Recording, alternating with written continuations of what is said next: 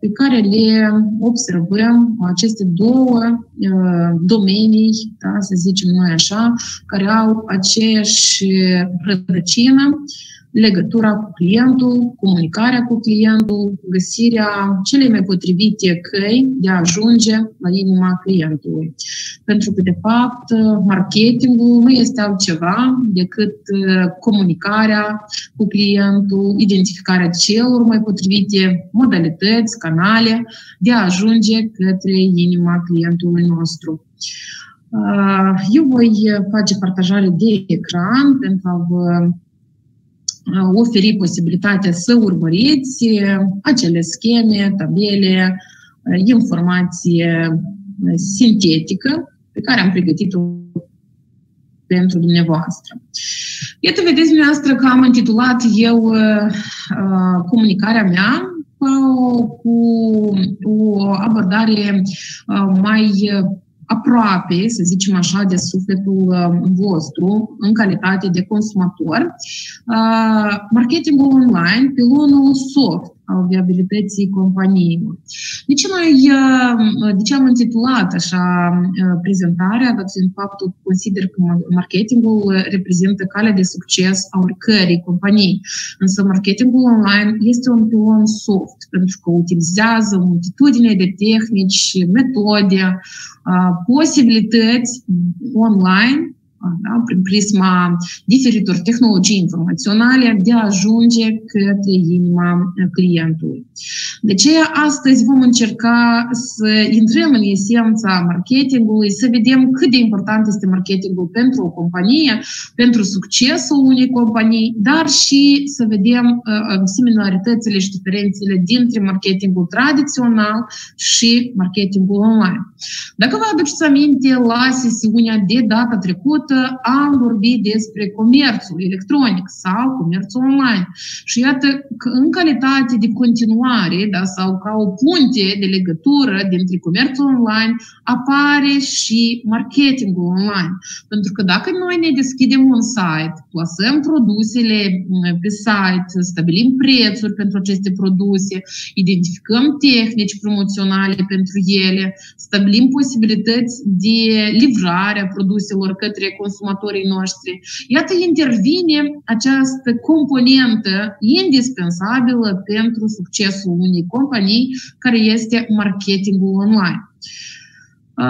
Evident că în momentul în care noi avem un magazin fizic, avem posibilitatea să expunem produsele după cum dorim noi, să identificăm cel mai potrivit loc pentru o anumită categorie de produse, să stabilim prețurile astfel încât să ne reîntoarcem costurile. Da? Noi știm cu toții că prețurile au la bază costurile suportate de către producător sau da, comerciant, dar și acea cotă de adaos comercial sau acea marjă comercială pe care producătorul sau comerciantul o include în preț pentru a-și recupera acele cheltuieli suportate. Păi iată, marketingul în, într-un magazin tradițional, într-un magazin clasic, se rezumă la identificarea da, posibilităților. Iată, vedeți dumneavoastră aici că Philip Kotler ne menționează că, de fapt, marketingul reprezintă activitatea umană îndreptată în direcția satisfacerii nevoilor și dorințelor prin intermediul procesului schimbului.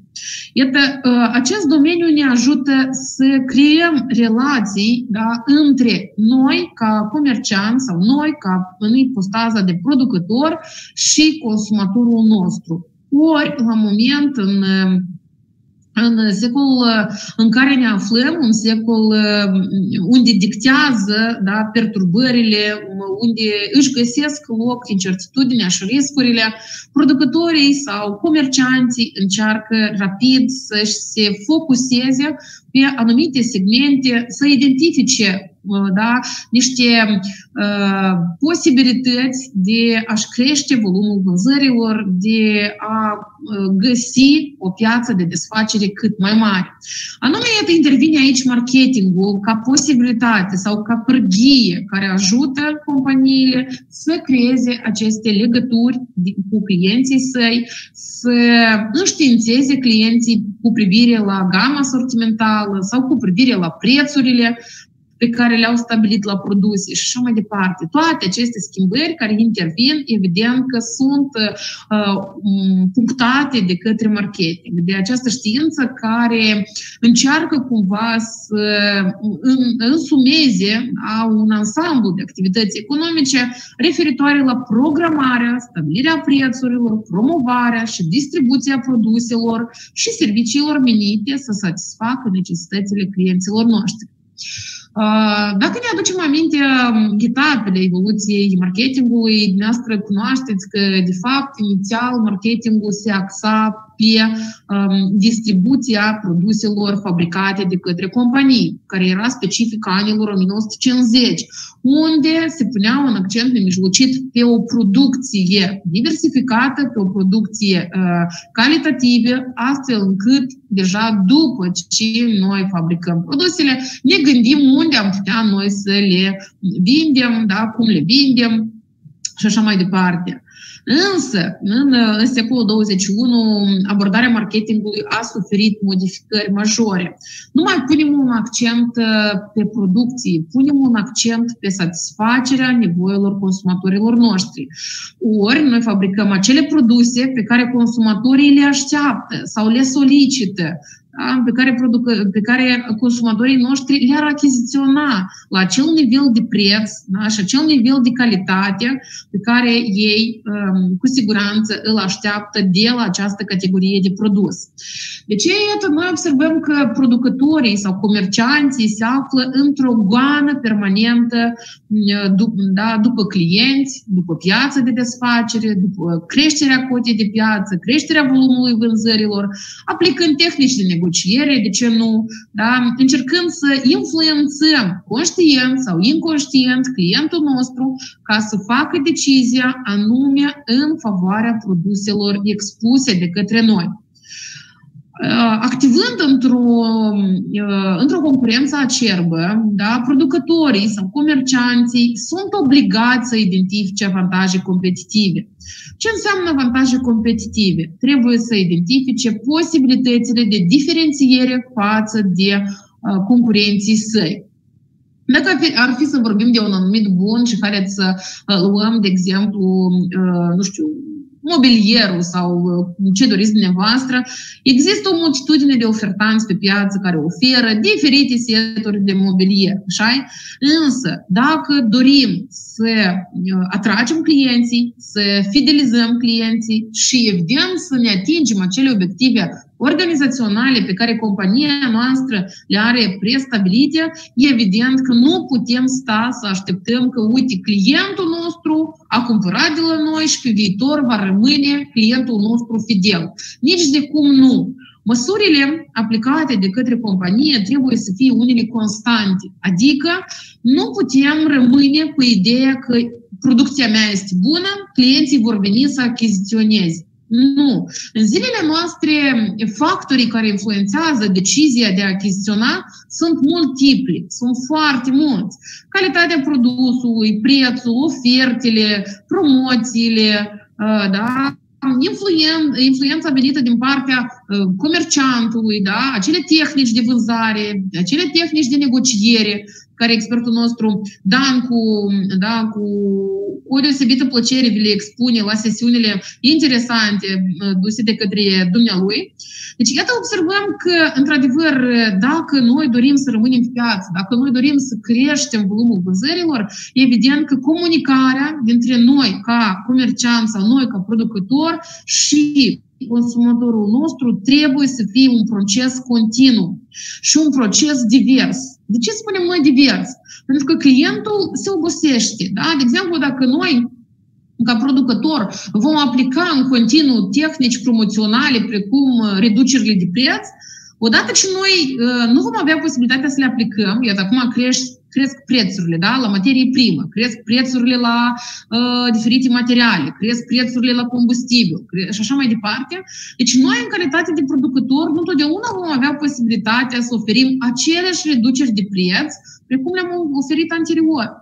Deci, în momentul în care noi obișnuim clientul nostru că produsele noastre sunt vândute mereu cu reduceri de preț, de preț implicite, atunci, în momentul în care noi nu vom avea posibilitatea să facem acest lucru, clientul va pierde încrederea în noi și cumva va aștepta da, acele reduceri da, pe care noi le vom include în contextul sărbătorilor, în contextul unor da, evenimente ale întreprinderii sau ale companiei noastre și așa mai departe. Iată, chestia asta cumva obosește clientul dacă noi aplicăm una și aceeași modalitate sau o, o anumită tehnică sau o anumită metodă pentru a ne promova produsele noastre. Și noi știm cu toții că avem diferite tehnici și posibilități de a ne promova produsele, nu doar da, reducerile de preț, pentru că noi cunoaștem că această tehnică este o tehnică care ne, da, ne, ne crește volumul vânzărilor, ne ajută să ne lichidăm stocurile, Însă nu este o tehnică pe termen lung. Nu ne ajută să ne menținem clienții. Da, noi vindem produsele, gata, nu mai avem produse în stoc. Da? Sau noi nu știu, crește volumul vânzărilor în contextul sărbătorilor, haideți să spunem, da? Însă asta nu înseamnă că eu mi-am fidelizat clienții. Asta nu înseamnă că legătura dintre mine ca comerciant și, de exemplu, da, client este una de lungă durată. Noi știm cu toții că există tehnici care ne ajută să creăm aceste legături pe termen lung, da? ca de exemplu oferirea unor carduri de acumulare sau oferirea unor carduri uh, de uh, fidelitate și așa mai departe, da? unde, unde deja acolo noi observăm uh, relații da? pe termen lung, cumva ne impune pe noi ca consumator să mergem anume la acea unitate comercială pentru a ne achiziționa produsele pe care le așteptăm sau pe care le dorim, pentru că acolo avem cardul, acolo se acumulează da, cumpărăturile noastre și depășind un anumit prag, noi vom beneficia de o anumită scutire, nu știu, reduceri, da, premii sau mai știu eu, depinde deja cum și-a organizat această politică de marketing, dar și strategii de promovare a produselor companiei respective. Iată, în acest context, noi remarcăm faptul că marketingul, într-adevăr, ne ajută să ne creăm acea legătură dintre companie pe de o parte și client pe de altă parte. Este o punte de legătură prin care firma încearcă să transmită mesaje direcționate către anumite segmente de clienți. Prin prisma aplicării marketingului, noi dăm dovadă că clientul pentru noi este important. Încercăm să îl convingem că noi ținem la client și nu uităm de necesitățile lui, ba chiar din potrivă le cercetăm și aplicăm cele mai potrivite tehnici, metode pentru a-l atrage și pentru a-l fideliza, pentru a-l menține în calitate de actor activ în echipa noastră.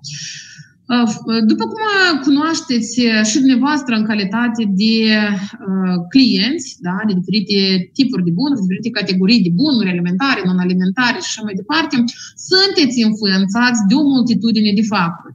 Posibilitățile de expunere a mărfii, luminozitatea, alți factori senzoriale, dar și reducerile și nu în ultimul rând imaginea de brand a produsului respectiv pe care vă interesează.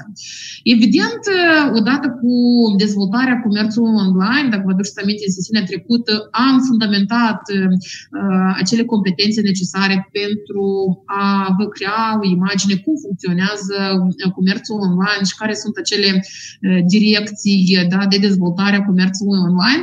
Păi, iată, marketingul online reprezintă un pilon da, soft al dezvoltării mediului online sau comerțului în mediul online, da? dat fiind faptul că ajută comerciantul să um, facă o legătură cât mai strânsă dintre firmă pe de o parte și client pe de altă parte, să aplice cele mai relevante modalități pe care clientul um, le așteaptă, care clientul reacționează prompt la ele, îi plac clientului, da? Uh, astfel încât să-i satisfacă la cel mai înalt nivel așteptările lui. Dacă ar fi, de exemplu, să analizăm um, ce este calitatea produsului, da? pentru că noi știm cu toții, noi în calitate de clienți reacționăm foarte bine uh, și prompt dacă produsul este calitativ. Da? Uh, ne gândim noi că mai bine achit un pic mai mult produs doar dacă produsul este de calitate. Dacă analizăm definiția calității, ce este calitatea? Calitatea este satisfacerea așteptărilor clientului la cel mai înalt nivel. Și uitați-vă aici, satisfacerea celor așteptările clientului, marketingul este o posibilitate de a satisface așteptările clientului la cel mai înalt nivel. Pentru că nu doar standardele de calitate, da? ele, da, se reprezintă pilonul de bază al asigurării calității.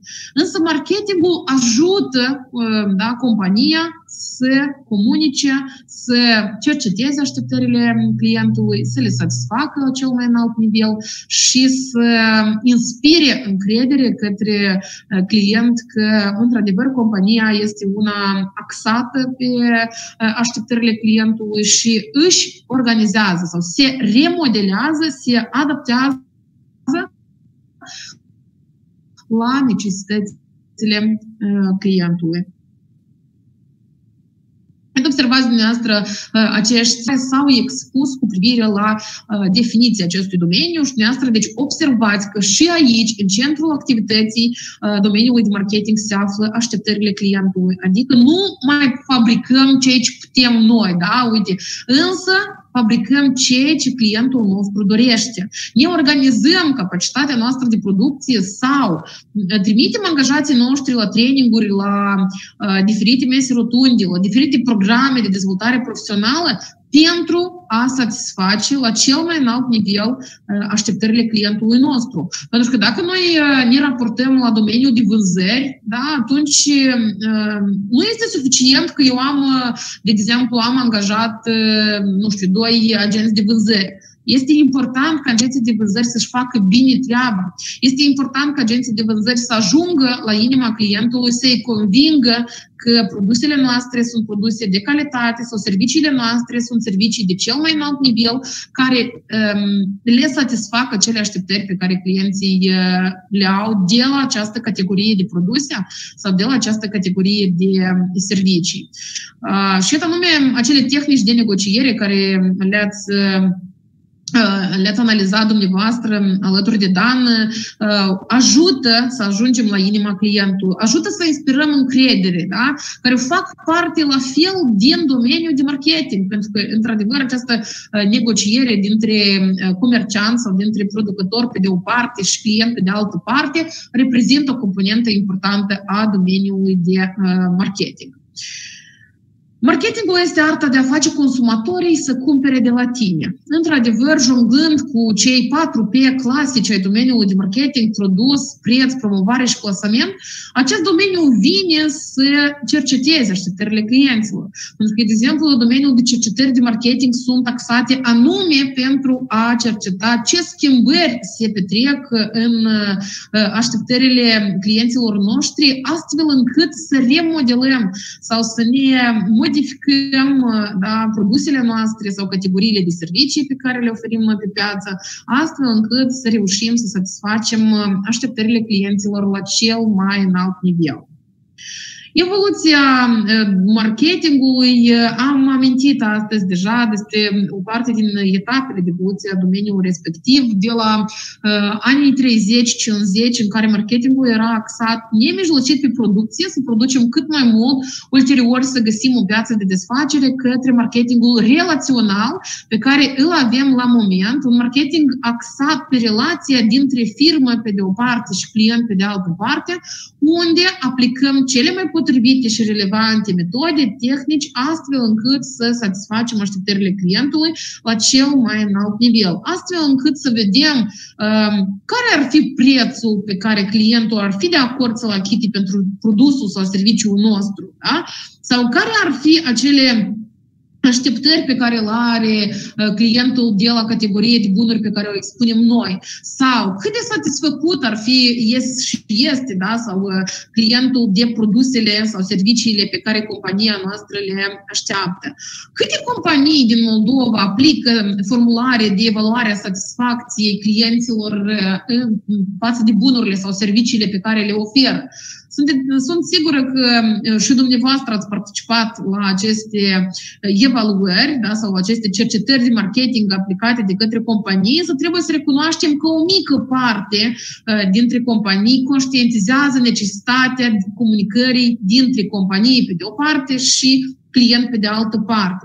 De exemplu, ăștia, uh, uh, da, aș putea să vă trec în revistă companiile din sfera IT-ului, da, de exemplu, nu știu, Starnet-ul, Moltelecom, care permanent, uh, da, creează această punte de legătură dintre companie pe de o parte și client pe de altă parte, unde încearcă cumva să evalueze satisfacția uh, clientului și uh, se remodelează sa, da, um, în funcție de așteptările clientului. Dacă clientul n-a rămas satisfăcut de serviciul prestat de către companie, atunci compania încearcă să uh, găsească greșeala, unde n-a făcut lucrurile bine.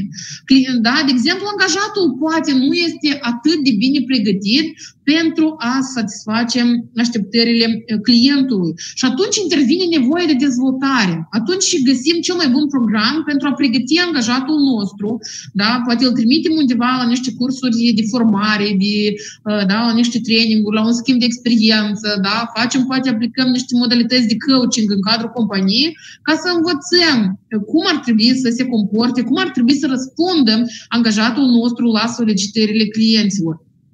Iată aici observăm noi posibilitățile de creștere a companiei prin prisma relațiilor, prin prisma relațiilor pe care le focusează cu clientul sau prin prisma aplicării marketingului relațional, care este un marketing specific zilelor noastre. Noi nu mai producem bunuri și încercăm cumva să aplicăm diferite tehnici promoționale ca să le vândă sau să le vindem. Este un marketing eronat dacă da, dumneavoastră sau compania dumneavoastră aplică asemenea abordare. Nu mai funcționează această abordare. Odată cu evoluția societății, odată ce ne aflăm într-un, într-o societate postmodernă, odată ce s-au dat peste cap aceste modele de business, să știți că nici tehnicile promoționale, nici acele uh, mijloace de marketing aplicate anterior nu mai funcționează, nu mai aduc acele rezultate scontate de, da, pe care companiile și le-au uh, stabilit. E nevoie să ne adaptăm și um, din perspectiva strategiilor de marketing aplicate.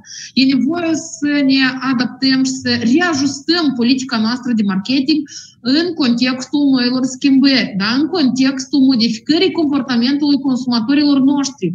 Consumatorii noștri sunt mult mai informați, consumatorii noștri au posibilitatea să deschidă internetul, să caute pe paginile producătorilor, să afle detalii despre produs, să vină să ne bombardeze cu multitudine de întrebări referitoare la uh, produs, criterii, uh, da, factori, da, posibilități de funcționare a produsului, cum funcționează, cât consumă și așa mai departe.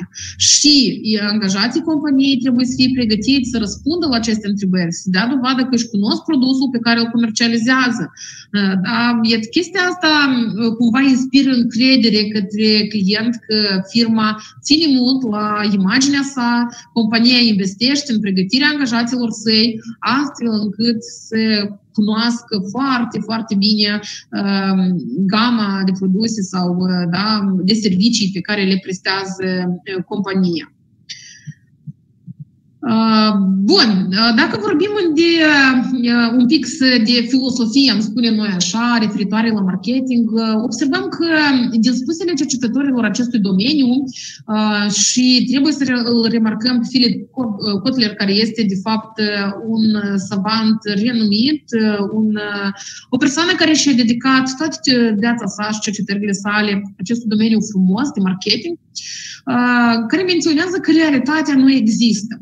Nu există decât percepția realității. Marketingul este o disciplină care lucrează cu percepții.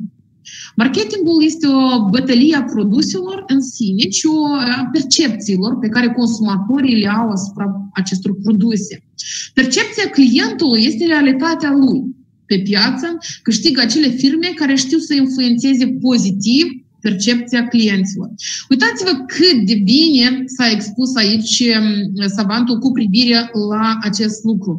Observăm că, într-adevăr, pe piață, noi nu mergem să achiziționăm produse.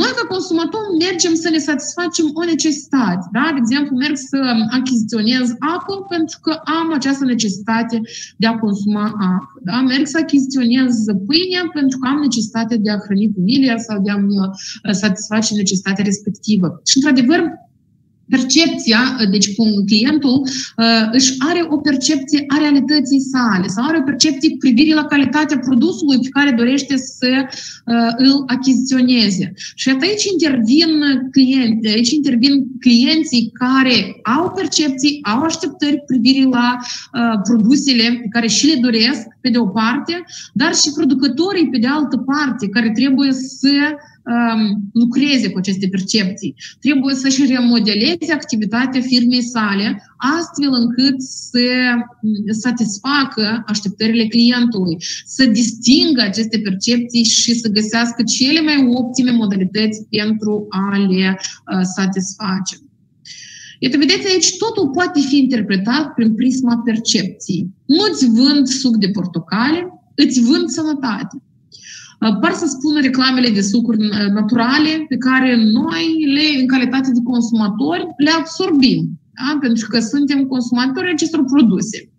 Nu îți vând servicii de telefonie mobilă, îți vând libertatea de a comunica oriunde. Deci, chiar dacă ar fi să luăm serviciile de telefonie mobilă a operatorului din, din țara noastră, Mol Telecom, așa și reclama acestei companii, da, așa și sună, da, libertatea de a comunica sau prezent oriunde, da. Iată, chestia asta cumva lucrează și această, acest domeniu de marketing lucrează cu aceste percepții care încercăm să găsim cele mai optime modalități pentru a ne focusa pe ele, pentru a identifica pârghii optime de a le satisface, dar și o cale cât mai eficientă în relația dintre firmă, companie, pe de o parte, și client, pe de altă parte. Strugurii pe tarabă sunt prezentați ca fiind vitamine naturale da? sau celelalte alte fructe, care, de fapt, iată, noi ne dezvoltăm în calitate de client această percepție de da, mai bine achiziționez un kilogram de fructe decât, nu știu, dulciuri, da? pentru că mai bine copiii vor consuma vitamine în contextul pandemiei da? și vor fi sănătoși și organismul va fi sănătos decât să achiziționez, nu știu, 200 de grame de, de, de bomboane, da? de dulciuri. Marketingul, de fapt, ce este? Este o stare de spirit, este o atitudine. Este vorba, da, de fapt, despre relația dintre firmă și client. Nu este vorba despre cum să vinzi un produs, pentru că mulți au această abordare eronată cu privire la marketing. Însă, cum să găsești calea spre inima clientului tău, să inspiri încredere, să-l convingi că anume produsele tale sunt cele mai bune, uh, produsele tale, produsele produ da, fabricate de către tine, uh, merită să fie achiziționate pentru a-i satisface la cel mai înalt nivel așteptările uh, noastre da, ca consumator. Este despre cum să-ți promovezi propria imagine, despre cum să vinzi o idee, o persoană sau orice. Da? Iată, uitați-vă cât de sugestiv este această uh, idee, cât de sugestivă este această abordare a marketingului prin care noi încercăm să ne promovăm imaginea noastră de brand. Ați auzit de branding, da? Noi putem să fabricăm o gamă foarte variată de produse, însă toate sunt sub brandul, nu știu, de exemplu, da, hai să luăm Metro sau alt brand, nu importă. Da? Deci lucrăm anume pentru câștigarea încrederii clientului în brandul pe care îl reprezentăm noi ca comerciant sau pe care îl reprezentăm noi ca producător. De ce considerăm noi că marketingul reprezintă o soluție de succes pe care orice companie trebuie să o infiltreze în activitatea sa, să se focuseze pe dezvoltarea și aplicarea celor mai relevante pârghii și să se axeze pe um, identificarea da, mijloacelor de comunicare cu clienții. Deoarece clienții nu cumpără produse, ei achiziționează soluții pentru problemele pe care le am.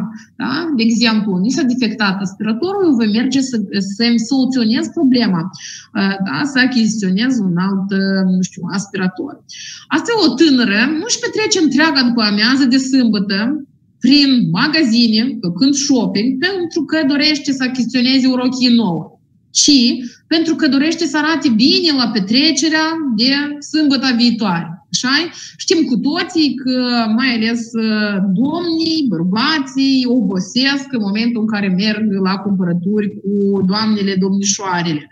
Însă, iată, observăm aici cât de bine um, ne explică cercetătorii din acest domeniu uh, importanța marketingului. Da? Pentru că, de fapt, noi de puține ori mergem de acasă cu o uh, anumită listă de cumpărături și intrăm în unitatea comercială și achiziționăm doar acele produse. Da? Dacă doamna a mers la cumpărături, evident că acolo nu o să fie doar o rochie, dar acolo o să fie și o rochie, și un set, și o salotetă, și, și multe altele. Da? Trebuie să recunoaștem chestia asta. Și anume marketingul, prin prisma mijloacelor, modalităților, pârghiilor aplicate, influențează decizia de achiziție acestor produse. Trebuie să recunoaștem acest lucru. Pentru că în momentul în care noi intrăm, de exemplu, într-o unitate comercială, în, direct în ochii noștri se aruncă unele produse pe care nu ni le-am planificat de acasă. Unele produse care sunt la reduce, altele produse care se vând în calitate de pachet cuplu, alte produse care, da, nu știu, de fapt nu au stat în lista noastră de cumpărături, dar ne aducem aminte cât ar fi bine să achiziționez că dacă sunt unitatea comercială, merită să le iau, da, pentru că în scurt timp se termină acasă detergentul, de exemplu, și uite, aici este o tombolă, să zicem, da, de exemplu așa, și nici nu știi cum câștig o, o nu știu, acolo, televizor. Da?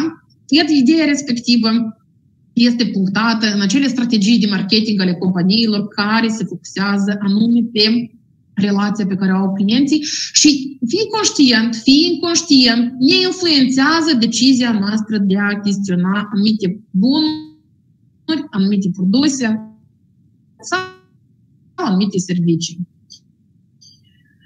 Consumatorii astăzi vor să trăia adevărată poveste. Deci, consumatorii astăzi nu sunt satisfăcuți doar de achiziția unui produs calitativ, au alte așteptări de la comercianți. Comercianții, aceste așteptări trebuie să le cerceteze și să-și reajusteze modelul său de business, modelul său de, nu știu, gama sa sortimentală sau tehnicile de marketing aplicate pentru a satisface așteptările clientului.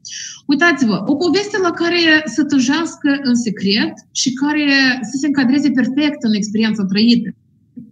Fie că e vorba de o vacanță exotică și nu doar de un concediu pe litoral, fie că e vorba de o mașină exclusivistă și nu doar de o mașină care să-i ducă de la punctul A la punctul B, consumatorii își doresc să trăiască o experiență alături de produsul pe care le achiziționează. De aceea, deseori, iată exemplu pe care vi l-am dat cu tombole, da? exemplu pe care e, sunt o multitudine de posibilități, de exemplu, dacă e aici este exemplu cu vacanța, în momentul în care noi chestionăm o vacanță și nouă ni se oferă niște excursii um, gratis, da? de fapt, după percepția noastră, ele sunt gratis, ele sunt incluse în prețul care noi l-am achiziționat la agenție de turism, însă noi ne prindem în această poveste pe care uh, uh, acea agenție de turism a conturat-o foarte bine. Da? Uite, în afară de cazare, nu știu, alimentație, transport și așa mai departe, veți beneficia de două, de exemplu, vacanțe gratis către anumite obiective turistice. Iată, noi ne prindem în aceste povești pe care comercianții sau pe care, nu știu, în cazul nostru, agențiile de turism foarte bine și foarte uh, conștient le pictează astfel încât noi ca consumatori să uh, nu știu, să intrăm în, în calitate de actori active acestor povești, să achiziționăm pachetele turistice, devenind da, și intrând în misterul poveștii. Un studiu de caz pe care l-am considerat foarte util și foarte sugestiv pentru dumneavoastră pe filiera de marketing, iată sună în felul următor. Odată, la o recepție din Geneva, un ziarist l-a întâlnit președintele firmei Rolex și l-a întrebat care este situația la acel moment pe piața ceasurilor. La întrebarea acordată de către ziarist, da, uitați-vă ce răspunde da, președintele acestei companii arhicunoscute, acestui brand pe piața ceasurilor. Habar nu am, a răspuns președintele. Nu prea mă interesează piața ceasurilor. La care ziaristul a rămas mască. Ce vreți să spuneți cu asta? Da? S-a mirat ziaristul. Vindeți ceasurile cele mai celebre din lume și nu urmăriți această piață ceasurilor? Stimate domn, a explicat marele om de afaceri, firma noastră nu vinde ceasuri, ea vinde senzația de lux. Uitați-vă cât de bine s-a exprimat da, președintele companiei, care de fapt a dat dovadă că nu este interesat să mereu să, nu știu, să vadă concurenții ce oferă, cum oferă, să se reajusteze. El a lucrat până acum da, asupra imaginii de brand, s-a muncit enorm da? până acum, însă senzația de lux este menținută. Deci toate acele modalități, tehnici, metode de marketing aplicate lucrează la un moment pentru a menține această senzație de lux în ochii clienților. Deci este greu să ajungi acolo la vârful da, acestei senzații de lux, Însă este și mai greu să te menții. Și președintele, deci uitați-vă cât de bine s-a exprimat, că noi nu vindem, da, de fapt, și nu, nu ne interesează ce se întâmplă pe piața ceasurilor. Noi ne-am creat această imagine în ochii clientului și noi muncim ca să ne menținem acolo sus, să nu cădem. Pentru că în momentul în care noi um, credem că suntem cei mai buni, și nu aplicăm nicio modalitate ca să ne menținem acolo, căderea va fi una foarte dură. Imaginea pe care ți-o creezi în mintea celor din jurul tău este capitalul tău, cel mai important. Deci, iată această comunicare da, pe care o stabilim, acele tehnici da, de promovare, acele uh, tehnici de reorganizare a produsului, da? acele modele noi de produse pe care noi le uh, ieșim pe piață, da? sau acele nou, noi uh, designuri la produsele noastre, sau acele noi servicii pe care noi le oferim, la fel lucrează pentru a consolida imaginea brandului. Pentru că dacă dorim să avem o imagine bună a brandului, e nevoie de muncit enorm. E nevoie de răsuflicat mânicile și să încercăm să găsim calea de succes către inima și către sufletul clientului nostru. Marketingul modern este, în tripla sa ipostază, o concepție, o optică economică, activitate practică, concretă și o știință artă care apare și dezvoltă contextul economiei concurențiale ca o necesitate și o condiție a succesului firmei. Într-adevăr, fără marketing, produsele cum stau pe rafturi, ele așa și ar sta și da, valorizarea lor, evident că ar fi una tergiversată. Prin prisma aplicării tehnicilor de marketing, noi creăm valoare, noi creștem această valoare, noi îmbunătățim da, posibilitățile de percepție a clientului asupra imaginii brandului nostru, dar și asupra da, produsului, nemijlocit asupra produsului pe care îl achiziționează. Dacă dorim să ne creăm clienți, e nevoie să muncim. Dacă dorim să păstrăm clienții, e nevoie să fim dinamici. E nevoie să ne adaptăm. Nu zadar proiectul Get Adaptable vine anume cu percepția de adaptare continuă. Adaptare continuă a noastră, ca experți, adaptare continuă a dumneavoastră, în calitate de beneficiari, adaptare continuă a companiilor și întregului mediu antreprenorial din țară pentru a identifica soluții concrete și optime în nou context creat de către, nu doar de către pandemie, dar și nou context creat de către mileniul în care ne aflăm, secolul incertitudinii, secolul în care riscurile sunt multiple, e nevoie să evaluăm aceste riscuri și să ne remodelăm business-ul, să ne remodelăm activitatea companiei noastre în vederea anticipării necesităților clienților noștri. Fără marketing orientat spre rezultate, compania nu ar câștiga consumatori noi, da? Fără un marketing focusat pe fidelitate, da? pe încredere, evident că uh, rezultatele ar fi fost cu totul altele. De exemplu, iată, aveți niște exemple sugestive trecute aici cu compania Coca-Cola, care știți că este un brand uh, renumit, un brand care a muncit pentru a ajunge în uh, vârful percepției clientului cu privire la uh, calitate, dar și la satisfacerea la cel mai înalt nivel a așteptărilor cu privire la o băutură Însă să știți că s-a muncit pentru a ajunge acolo și s-au depus eforturi enorme pentru a se menține în vârful uh, uh, piramidei. Da? Pentru a nu cădea, să știți că compania muncește și în continuu. Nu e nevoie să ne mulțumim cu ceea ce am obținut. E nevoie să consolidăm ceea ce am obținut și să avem această tendință de a îmbunătăți continuu. Ori, de exemplu, dacă studiem um, conceptele de calitate care au fost atât de bine cultivate de către Deming, Chelada, Feigenbaum, da, cei mai renumiți savanți pe sectorul de calitate, pentru că clienții la moment achiziționează produse care inspiră calitate, anume se axează pe îmbunătățirea continuă, pe perfecționarea continuă. De exemplu, dacă noi vorbim de sectorul de servicii, aici ne rezumăm la perfecționarea resurselor umane da, sau angajaților noștri, care ar avea acele abilități și competențe, acel potențial uman necesar, transformat în capital uman, axat spre satisfacerea la cel mai înalt nivel al așteptărilor clienților noștri. Uitați-vă aici aceste branduri de succes, sper că ați reușit să le uh, observați că, într-adevăr, pentru a nu cădea, pentru, sau dacă s-a întâmplat că a căzut, compania și-a remodelat activitatea, a aplicat alte modalități și posibilități pentru a se menține pe piață și pentru a găsi acea cale de succes. Adidas, de exemplu, Adidas, la fel ne indică acea intenție de creștere continuă.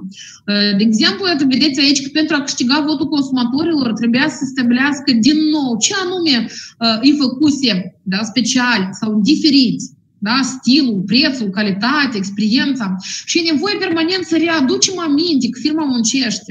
E nevoie permanent să readucem aminte că compania nu stă pe loc și nu se mulțumește cu ceea ce a obținut, că compania conștientizează necesitatea de perfecționare continuă, pentru că ne aflăm într-un mediu diferit într-un mediu în care dacă da, ne mulțumim cu ceea ce avem, în scurt timp vom fi pur și simplu aruncați de pe piață.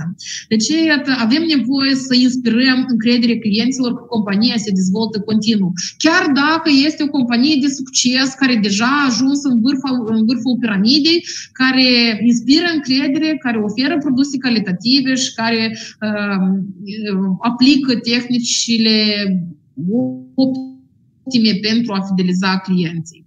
Conceptul de marketing cere ca managerii să observe totul din punct de vedere a consumatorului. Nu mai gândim ce o să fie pentru noi bun să vindem. Noi nu vindem deja ceea ce, ce suntem noi capabili să producem. Noi vindem ceea ce clientul nostru solicită.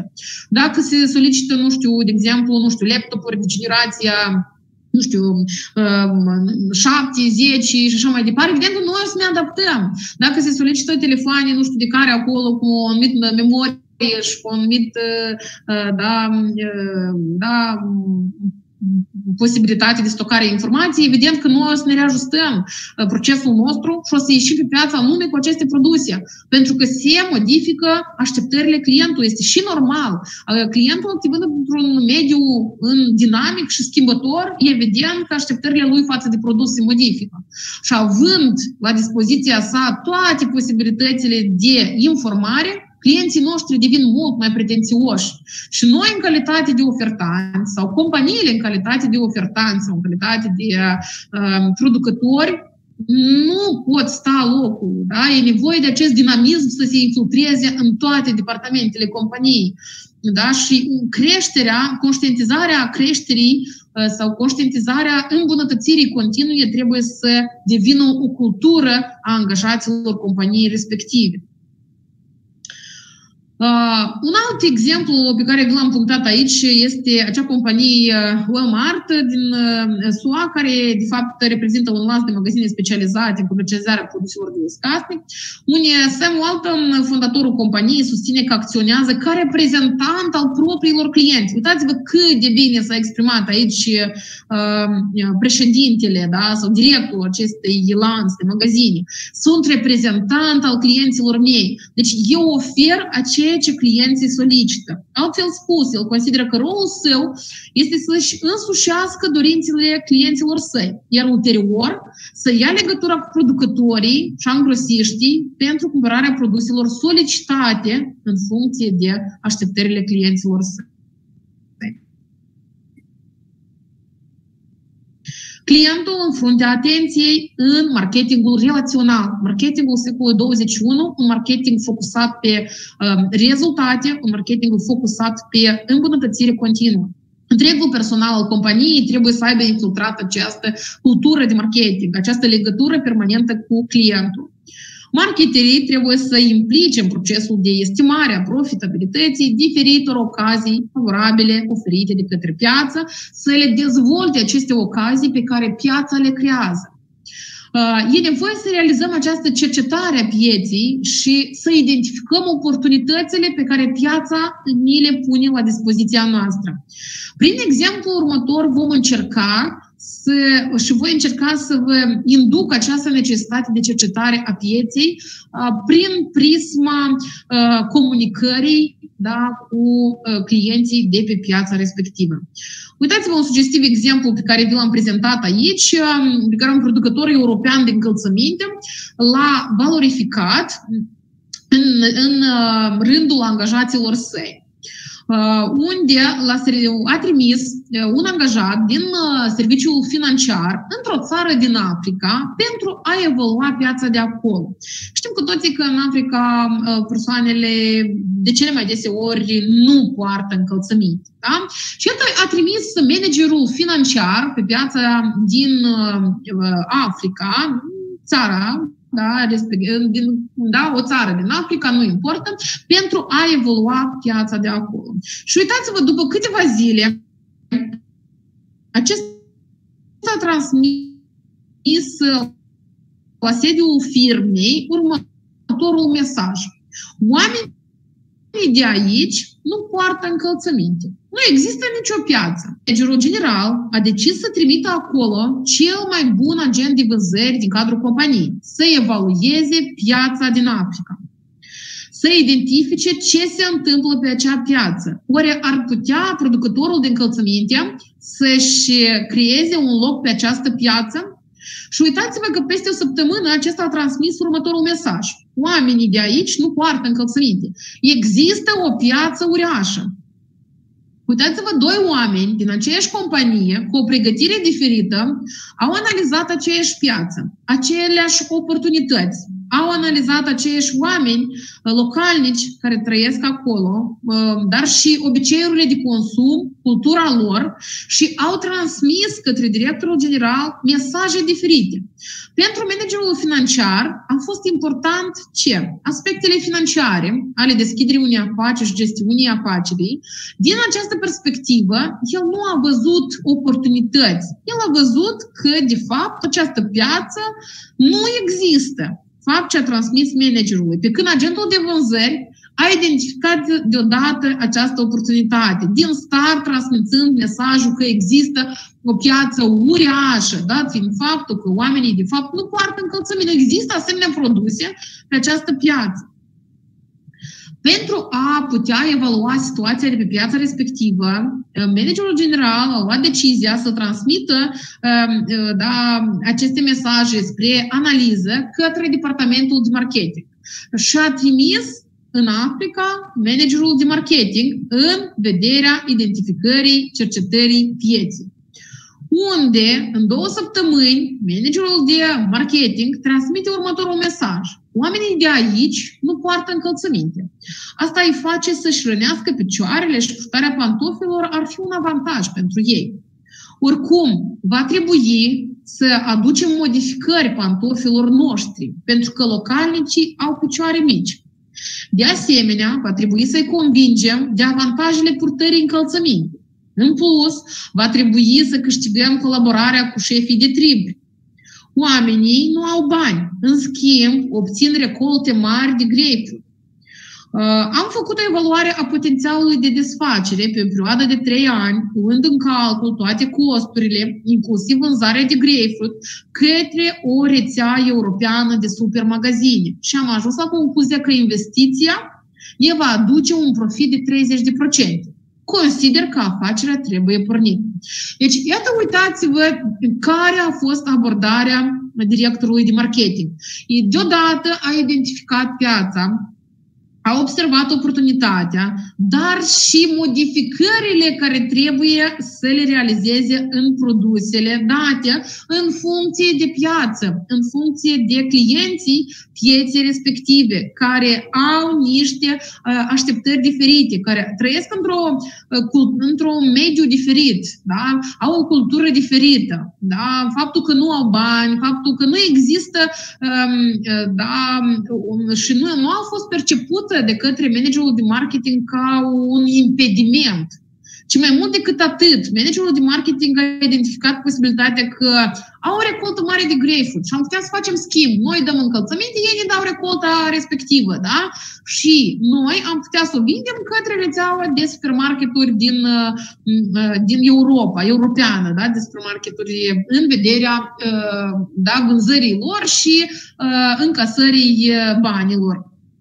Deci, iată, uitați-vă ce abordare originală a identificat managerul de marketing pe pași a, ne-a stabilit un plan de acțiune în vederea valorificării acestei oportunități pe care piața a plasat-o în atenția managerului de marketing.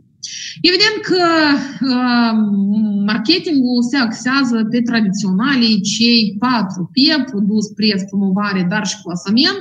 Produsul se axează pe identificarea gamei sortimentale cele mai, valori, cele mai importante, să spunem noi, cele mai optime în vederea uh, fidelizării clienților.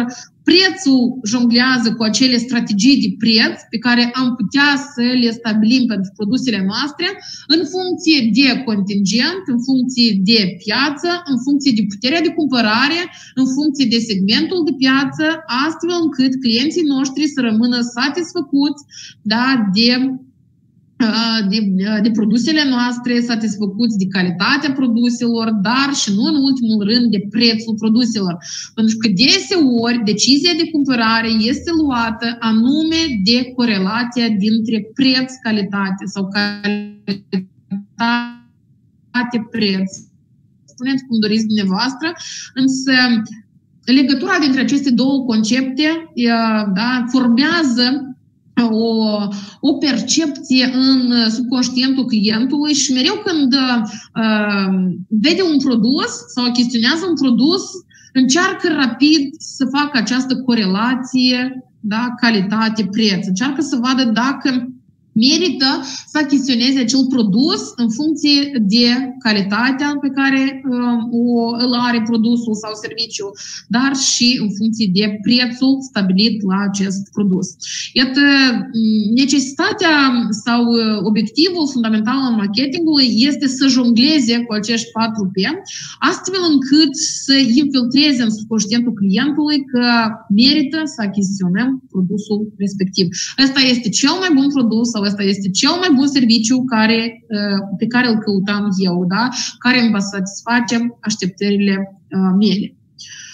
Evident că în secolul 21 marketingul nu operează doar cu acele tehnici promoționale, acele produse, acele prețuri uh, uh, care sunt stabilite în magazinele tradiționale, în magazinele fizice. Am vorbit în sesiunea trecută despre comerțul online și în zadar am organizat așa comunicările astfel încât dumneavoastră să sesizați o legătură între ele și să vă provoc să fiți alături uh, sesiune de sesiune pentru a înțelege legătura dintre conceptele analizate realizate. În momentul în care noi ne deschidem o afacere online, da, e nevoie deja să ne reorganizăm activitatea de marketing în vederea aplicării tehnicilor de comunicare online, tehnicilor de marketing online, care ne vor ajuta să fim aproape de clientul nostru, nu doar în mediul tradițional, nu doar în mediul fizic, ci și în mediul virtual, în mediul online. Când deschidem un site al companiei, orice site, de exemplu, dacă intrăm pe site-ul, uh, hai să zicem, combinatului de pâine din Wells, Puțină informație o găsim noi ca consumator. Informația este foarte gironat uh, expusă și ne induce în erare deseori, de exemplu, pe noi în calitate de client. De ce, iată, organizarea acestei platforme, acestui site da, uh, al companiei reprezintă un demers al marketingului online. Pentru că expunerea produselor în mediul uh, online, stabilirea prețurilor pentru produsele vândute de magazinele online, dar și tehnicile promoționale aplicate pentru uh, produsele vândute în uh, mediul online reprezintă niște provocări anume da, ale marketingului online. La ce se rezumă, de fapt, marketingul online? Iată, aveți aici niște abordări teoretice care principalele, da, sau să ne facem, să le rezumăm așa, fiecare dintre ele. Marketingul online, de fapt, implică un set de instrumente, metode utilizate pentru promovarea produselor și serviciilor pe internet. Deci dacă noi, în marketingul tradițional, am vorbit de cei 4P, am vorbit de produs, preț, promovare și plasament, atunci la marketingul online noi neapărat sau nemijlocit ne axăm pe comunicare, pe promovarea produselor aplicarea celor mai optime modalități pentru a ajunge la inima clientului. Și aici, uh, activând în mediul online, evident că aceste mijloace sunt foarte diferite. Foarte multe companii aplică, de exemplu, uh, blogurile, da? foarte multe companii aplică storytelling-urile, foarte multe companii aplică reducerile de preț la gama vândută anume din magazinul online. De exemplu, haideți să luăm uh, unitatea comercială de, din uh, Moldova, municipiul nostru, da, municipiul Gălz, dar și în Chișinău se regăsește maxim. Da? Mergem la maxim să achiziționăm electrocasnice, Evident că avem posibilitatea să navigăm pe site-ul acestei unități comerciale de acasă. 24 din 24, 7 din 7, ne-am ales produsul, am comparat produsele, uh, am văzut caracteristicile unui produs, am văzut caracteristicile altui produs, am văzut prețurile și ulterior, deci făcând decizia sau, nu știu, asumându-ne decizia de cumpărare acestui produs, mergem deja în magazinul fizic pentru a achiziționa. Pentru că trebuie să recunoaștem că încă în țara noastră există această frică sau această reticență a consumatorilor de a achiziționa de la magazinele online. Da? Pentru că deseori nu se potrivesc mărimile, culorile nu corespund, dimensiunile, calitatea produselor livrate din magazinele online lasă de dorit. De exemplu, haideți să luăm și metro, da? În momentul când mergi acolo și să alegi produsul dorit, de exemplu fructele care le dorești sau legumele pe care le dorești, este una. În momentul când ți le livrează acasă, nu mai ai posibilitatea respectivă să-ți faci alegerea, să le vezi, să le, da, cumva, să simți, să apreciezi cumva la moment această calitate a produselor respective. De aceea noi în acest context observăm că intervine marketingul online. Cum să influențăm decizia consumatorului de a achiziționa? Iată, asta este marketingul online, aplicarea tehnicilor de promovare online.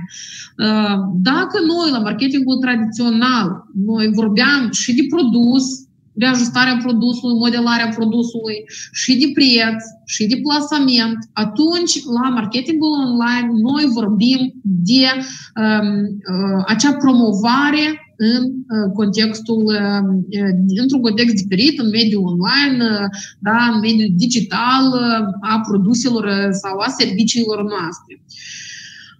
Aceste tehnici sunt foarte diferite. Vom încerca astăzi să le trecem în revistă și să identificăm un demers eficient pentru o companie care are deschis un magazin online și dacă vă aduceți aminte, sesiunea trecută am vorbit despre 525 de platforme care există la moment în Republica Moldova da, online care încearcă să satisfacă așteptările clienților.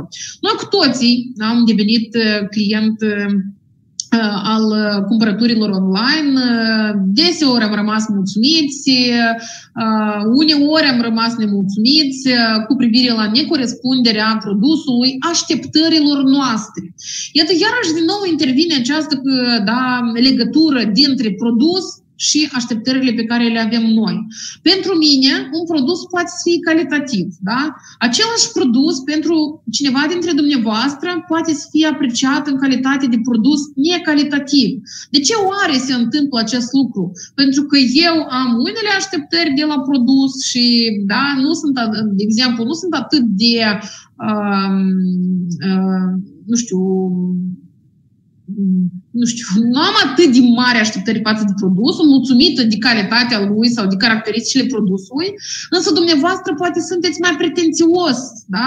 Sau mai informat de către mine, trebuie să recunosc, poate eu nu m-am informat atât de mult despre produs și sunt mulțumită de calitatea produsului, însă dumneavoastră sunteți mai informat, ați analizat mult mai bine piața, gama sortimentală, diferiți producători și evident aveți așteptări mult mai mari față de acea categorie de produse. De aceea, deci iată, intervine această diferență în abordarea mea și abordarea dumneavoastră, referitoare la același produs. Iată, producătorii, prin prisma aplicării eh, marketingului online, creează legătura dintre producător sau dintre comerciant pe de o parte și client pe de altă parte în mediul online, în magazinul online pe care îl au eh, în palmaresul său. De ce apare această necesitate? Cum este cultivată această necesitate de marketing online? Da, în ziua de astăzi, aproape jumătate din populația globului este conectată la internet, lucru care a determinat schimbări radicale la nivel mondial și în politica de marketing. Nu e suficient doar să avem produse conforme și prețuri atractive. E nevoie să ajungem și la segmentul de clienți care achiziționează online.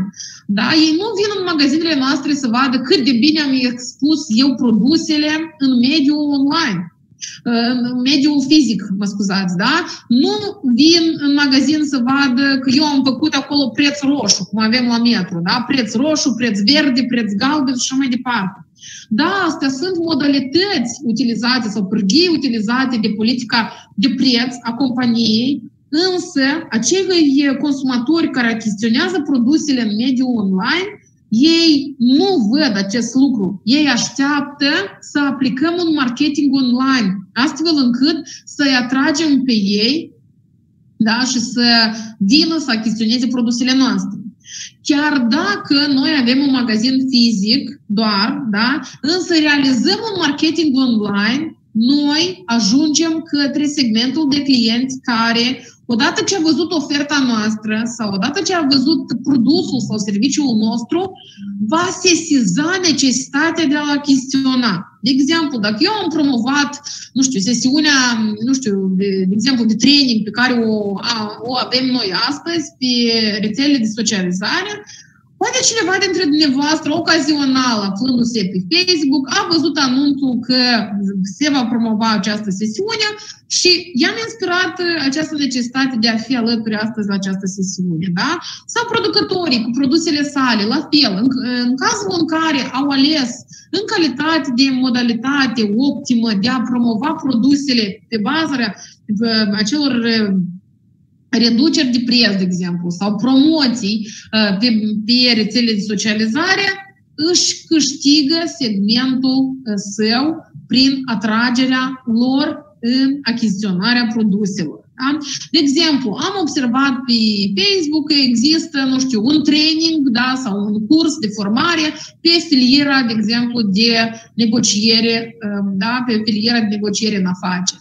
Consider că pentru mine ar fi bine să mă dezvolt pe această latură. Atunci, evident, înscrierea este online, formularul trimit online. Deci, iată, este o modalitate, este o punte de legătură cu segmentul de clienți care optează pe mediul online, care nu o să vină la, de exemplu, nu știu, uh, compania Miracle și o să întrebe, aveți cursuri, traininguri pe domeniul de negocieri sau nu? Deci ei vor aștepta aceste mesaje vărsate de către uh, companii, de către um, da, instituții și așa mai departe, prin înștiințarea acestui segment de clienți care optează pe mediul online, să înștiințăm despre uh, modificările în gama sortimentală, modificările în produsele pe care le oferim noi, prețurile atractive pe care le avem noi, da? sau am introdus un serviciu nou și doresc să-l um, da, diseminez către uh, acest segment de clienți care optează pentru mediul online. Deci să înțelegeți că marketingul online este o modalitate foarte eficientă în zilele noastre, aplicată de cea mai mare parte de companii, înțeleasă, conștientizată de companii uh, ca modalitate care contribuie la succesul uh, companiilor, dat fiind faptul că cea mai mare parte a consumatorilor se află în mediul online, uh, navighează pe diferite platforme, vizualizează diferite filmulețe da? și încearcă cumva să valorifice acele oportunități pe care producătorii sau uh, uh, da, nu știu, comercianții, ofertanții le oferă într-un anumit context. Avantajele marketingului online schematic sunt date în această uh, schemă, cheltuielile sunt reduse. Da? Dacă aplicăm acele metode mijloace uh, grat, gratuite care ne sunt oferite uh, da, de către, nu știu, de exemplu, acele plasarea pe YouTube sau, nu știu, pe rețelele de socializare, da?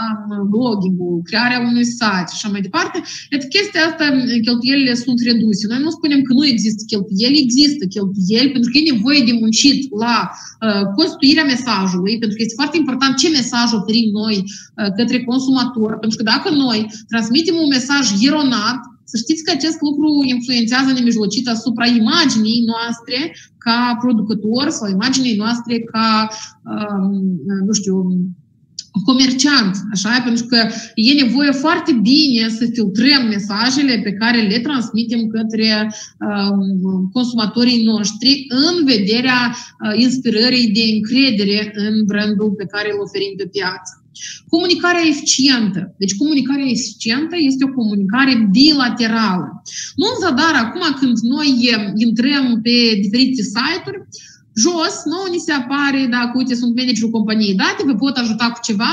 Deci, automat se identifică posibilitățile de comunicare. Doar intrăm pe site și deodată jos apare ideea respectivă de comunicare bilaterală, da? o comunicare eficientă. Deci nu mai este eficient doar să arunc mesajele, cu uite, avem promoții, cu uite, avem un produs nou, cu uite, că da, aceste mesaje deseori nu sunt uh, atractive și uh, cumva sunt iritante pentru consumatorii noștri. E nevoie să existe o comunicare bilaterală, o comunicare în care am încercat atât ascendentă, descendentă, da? de la firmă către client și de la client spre firmă. Uh, pentru a înțelege clientul că compania este aproape de el, compania are grijă de așteptările lui. Nu, dar v-am adus asta astăzi aminte de cele formulare de evaluare a satisfacției consumatorilor, da? care sunt aplicate de anume de cele companii care uh, țin mult la imaginea lor, țin mult la satisfacția clienților săi și își modifică atât gama de produse, servicii, cât și abordarea lor în vederea creșterii uh, și îmbunătățirii relațiilor cu clienții săi. De aceea, marketingul online se axează nu doar pe transmiterea de mesaje în format online, da? cu privire la promoții, cu privire la reduceri, cu privire la carduri, cu privire la o ocazie anumită, cu privire la un produs nou, serviciu nou și mai departe.